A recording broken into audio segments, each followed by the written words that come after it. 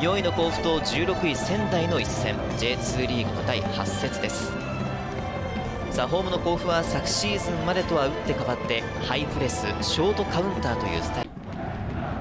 立て続けに3本目のコーナーキックとなります。あそこに集めて速いボールで狙ってくると思うんですね。ボール前に。の正面そうですね山田と豪家の姿。逆サイドにあった姿のところ。クロスバー直撃。いや松本投げよく帰ってきましたね今ね。対応でしたね、うん、少しね背後への対応っていうのはああいうミス出てきますからね。レベルトンです。秋山から前に送る。中島シュート先制仙台!甲府の守備を崩しました!避けなければならない連敗。そのために主導権を取ったベガルタ仙台です。というところでしょうか、うん、このシーンです、まあ、こうクリアボール拾った後でしたね。エベルトンがつないで秋山からダイレクト、まあ、リフレクションあっての中島でしたけれども、はい。まあ、この後ダイレクトで秋山が入れるんですね。で、まあ、この後リフレクションあったら難しかったと思うんですけど、まあ、風も強いですしね、まあ、その中でしっかり面作って押し込みましたよね。空いてるコースに、えー、鎌田胸コントロールから前を伺います。縦パスつけた。右足のシュートに行く、うん、中島のシュートゴールの右にそれていきました。後半は少しこう、まあ、風が変わらなければ押し込めるはずですから。そうですね。中島です。前向きドリブルで上がっていく。外を使って小出ダイレクト。豪家のシュート。ゴールの右ですさあまた右のオープンスペースを使って小出です。山田と豪家の姿があります。山田後ろから上げ直し。秋山ヘッド!シュートラッシュ仙台です。イメージ的にはこう3バック気味になってるイメージかも。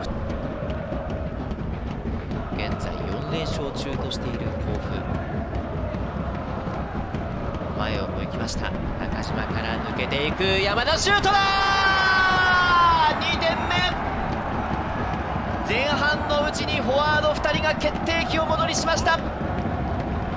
中島そして山田。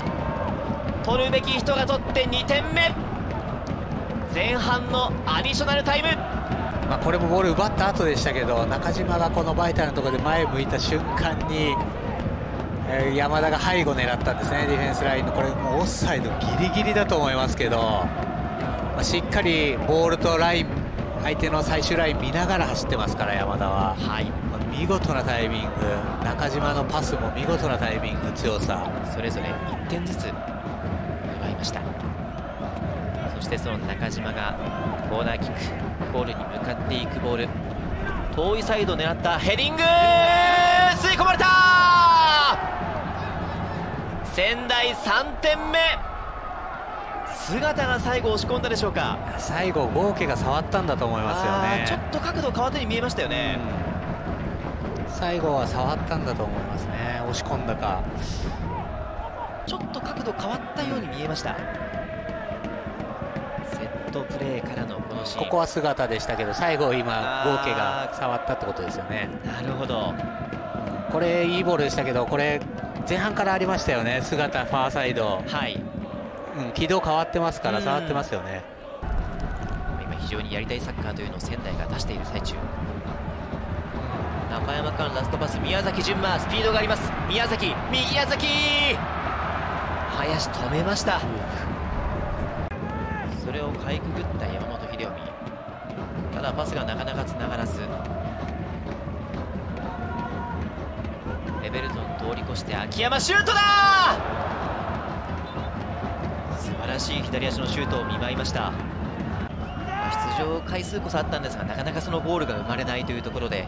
歯がゆさはあったと思いますね。はい。長谷川元樹左足！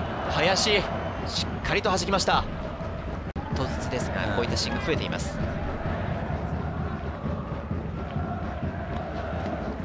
ラストのところの精度を上げていきたいですね、甲府も。